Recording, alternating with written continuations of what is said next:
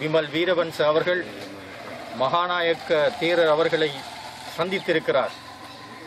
சந்தித்த பொழுது மகாநாயக்க தேரர் அவர்கள் சொன்னார் நீங்கள் உங்களுடைய எதிர்க்கட்சி என்கின்ற அடிப்படையிலே செய்பவற்றை நான் தடுக்கவில்லை. ஆனால் இப்பொழுது இருக்கின்ற இந்த சமாதான நிலைமையை குழப்பக்கூடிய விதத்திலே நீங்கள் செயற்படக்கூடாது என்று நாங்கள் எல்லாம் எதிர்பார்த்திராத கற்பனை செய்திராத இடத்திலே இருந்து அந்த கருத்து வந்திருக்கிறது.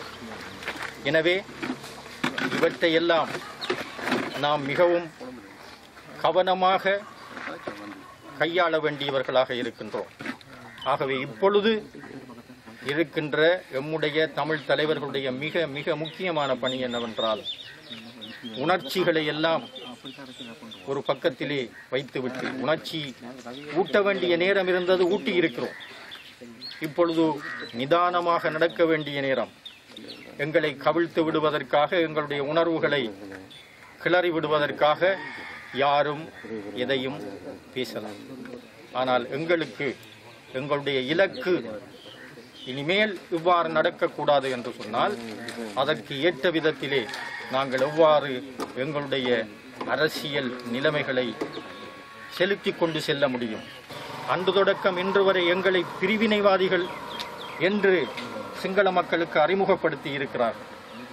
எனவேதான் தலைவர் அவர்கள் சொல்லுகிறார் ஒன்றிணைந்த நாட்டுக்குள்ளே நாங்கள் செயற்படுவோம். பிரிவினைக்கு எங்களை இட்டுச் சென்றது. அது ஒரு ஆணையை எடுத்தோம். அந்த ஆணையை எங்களுடைய தலைவர் அவர்கள் அமிர்தலிங்கம் ஐயா அவர்கள் பாராளுமன்றத்தில் சொன்னார். மக்கள் எங்களுக்கு பிரிவினைக்கு ஆணை தந்திருக்கிறார்கள். ஆனால் பிரிவினைக்கு சமமான எங்களுடைய உரிமைகளை உள்ளடக்கக்கூடிய ஒரு திட்டம் வரும் என்றால் அதற்கு நாங்கள் ஆதரவளிக்க தயார் என்று சொன்னார். ஆக தமிழர்கள் பிரிவினைவாதிகள் என்று தென்ன தென்பகுதியினர் சொல்லிக் கொண்டிருக்கின்ற பொய்யாகவோ உண்மையாகவோ சொல்லிக் கொண்டிருக்கின்ற அந்த கருத்தை முற்றாக எடுத்து எறியக்கூடிய விதத்திலே நாங்கள் இருக்க வேண்டும்.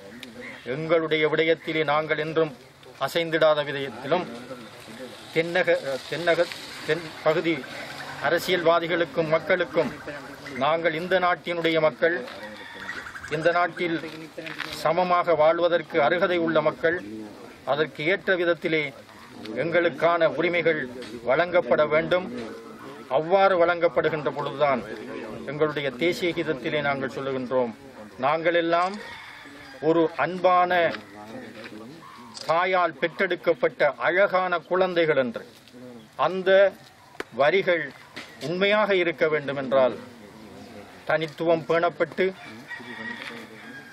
இனத்துவம் பேணப்பட்டு இன அடையாளத்தை காப்பாற்றக்கூடிய நிலம் தொடர்பான விடயம் அங்கீகரிக்கப்பட்டு மனித அடிப்படை உரிமைகள் உயரிடம் பெற்றுக் கொள்ளக்கூடியதாகவும் நாங்கள் இதுவரை அனுபவித்திருக்கின்ற இந்த விடயங்கள் வரலாற்று ரீதியாக இந்த நாடு கண்டிருக்கின்ற இன பிரச்சினை தொடர்பான இணக்கப்பாடுகள் அவற்றை எல்லாம் பிழிந்தெடுத்த விதத்திலே அரசியலமைப்பை உருவாக்கக்கூடிய ஒரு சூழ்நிலைக்கு நாங்கள் எல்லாம் எங்களுடைய மக்களை செலுத்திச் செல்ல வேண்டும். அவ்வாறு செல்லுகின்ற பொழுதுதான் உண்மையிலே எங்களுடைய அஞ்சலிப்பு என்பது அர்த்தமுள்ளதாகும்.